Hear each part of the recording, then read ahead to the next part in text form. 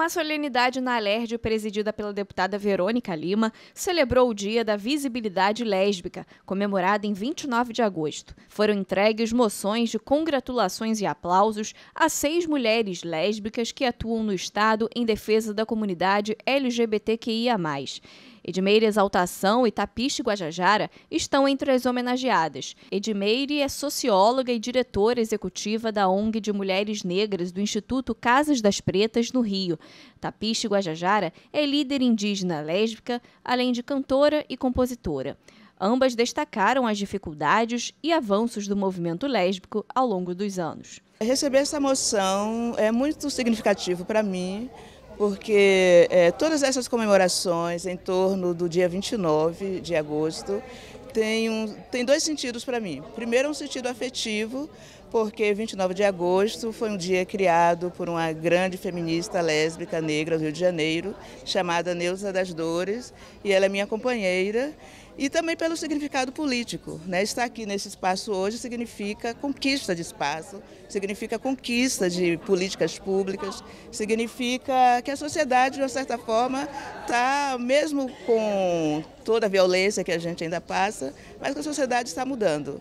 Isso tem um significado político, eu acho, muito grande e importante para o movimento. Existe indígena LGBT que é mais, então a gente tem que mostrar a nossa bandeira também, a nossa resistência também.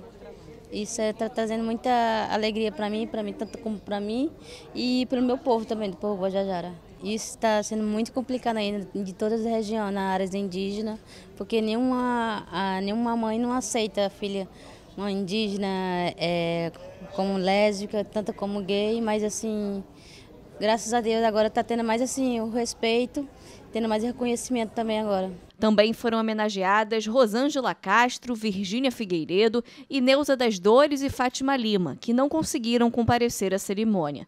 Durante o evento, representantes das causas lésbicas falaram da necessidade de aprovações de leis que amparem mulheres homossexuais. Uma das propostas é a retomada do projeto de lei na Alerj, que cria um programa de acolhimento e proteção de mulheres lésbicas, chamado de Lei Luana Barbosa. Luana Barbosa, uma mulher negra, lésbica, periférica, brutalmente espancada e assassinada, vítima da violência policial na frente do seu filho pequeno. Então a gente reivindica hoje o fim do lesbocídio, o fim do racismo, o fim da lesbofobia e também o fim da militarização da vida. A deputada Verônica Lima ressaltou a importância de falar na LERJ sobre o Dia da Visibilidade Lésbica. Como primeira deputada lésbica negra no parlamento estadual, disse que é preciso intensificar o debate sobre o tema para evitar casos de violência e preconceito. Estou muito feliz porque eu sou a primeira deputada estadual eleita lésbica aqui no estado do Rio de Janeiro. Então a gente tem um compromisso histórico com essa pauta. A gente recuperou né, e reapresentou a lei estadual Luana Barbosa, da ex-deputada Mônica Francisco e apresentamos também um PL com recorte para as lésbicas da periferia de favela que tem demandas, especificidades né, na luta por empregabilidade, formação, acesso à saúde pública de qualidade.